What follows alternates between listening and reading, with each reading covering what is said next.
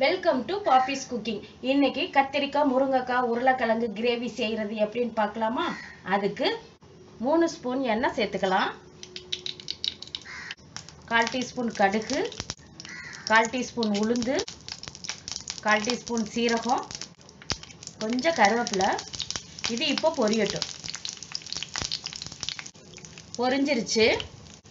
Medium size வெங்காயம் ரெண்டு சின்ன சின்னதாக கட் பண்ணி வச்சுருக்கேன். அதை சேர்த்துக்கலாம். பத்து பல் பூண்டு அதையும் சேர்த்துக்கலாம். ரெண்டு பச்சை மிளகா. இது எல்லாம் கலர் மாதிரி வர்ற அளவுக்கு நம்ம வதக்கிக்கலாம்.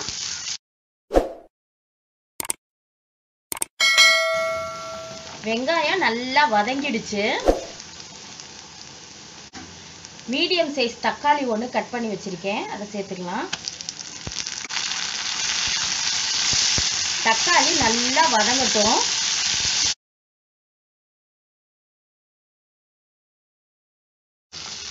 தக்காளி நல்லா வதங்கிடுச்சு. இப்போ காய் எல்லாத்தையும் சேர்த்துக்கலாம். மீடியம் சைஸ் உருளைக்கிழங்கு தோல் சீவி கட் பண்ணி வச்சுருக்கேன். அதை சேர்த்துக்கலாம். முருங்கைக்காய் ஒன்று மீடியம் சைஸ் கத்திரிக்காய் நாலு கட் பண்ணி வச்சுருக்கேன். அதையும் சேர்த்துக்கலாம். கால் டீஸ்பூன் மஞ்சத்தூள்.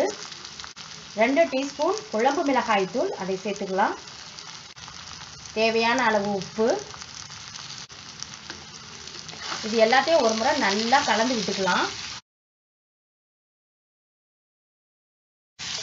நல்லா மிக்ஸ் பண்ணியாச்சு. ரெண்டு டம்ளர் தண்ணி சேர்த்துக்கலாம்.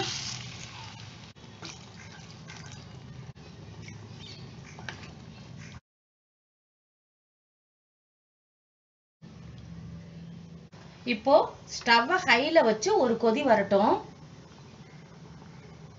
ஒரு கொதி வந்துருச்சு. ஸ்டவ்வை ஸ்லோ பண்ணி பத்து நிமிஷம் வேக வச்சு எடுத்துக்கலாம்.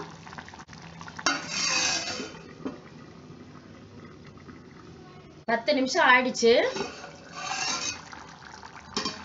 கொஞ்சம் கொத்தமல்லி சேர்த்துக்கலாம்.